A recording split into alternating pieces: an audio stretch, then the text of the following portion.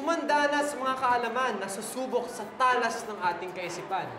Ako po si Marlo at ito ang Knowledge on the Go!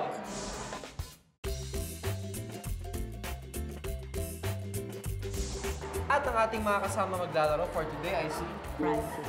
Francis. Francis, balita ko ikaw ay top 4 sa iyong klase. Wow, ano naman ang iyong mga sikreto? Ah, mag-aral lang po ng mabuti. Mag-aral lang ng mabuti. Opo. Tsaka lagi makinig sa mga lessons.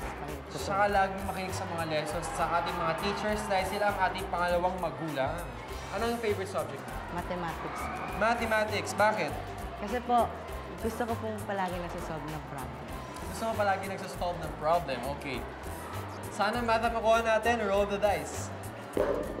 Math! Okay. O sige, bumunot ka na ng iyong katanungan. And of course, kunin mo ang aking whiteboard and marker.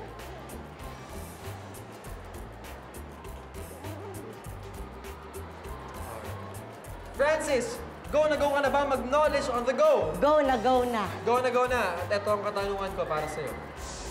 My dog eats 1 5 kilogram of dog food each day.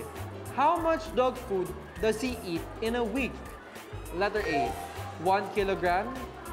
B, 1 and 1 5 kilograms. C, 1 and 2 fifths kilograms.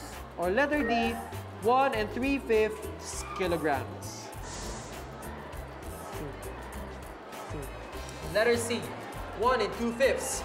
Ang tamang sagot, Francis, ay letter C, 1 and 2 fifths. Alam mo ba, kailangan natin mahanap kung ilang kilograms ng dog food ang kinain ng aso ko. Alam natin na ang isang linggo ay may pitong araw.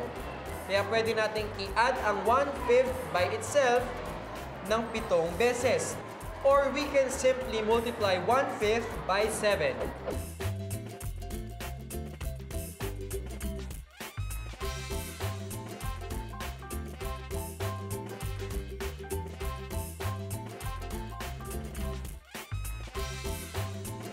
Seven-fifth or 1 and 2 fifths kilogram ng dog food ang kinakain ng aso ko sa isang linggo.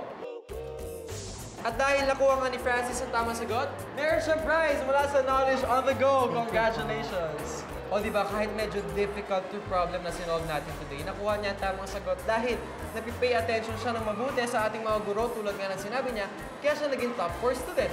Kaya samahan niyo ulit ako sa susunod para sa bagong kaalaman. Ako po si Marlo at ito ang Knowledge on the go!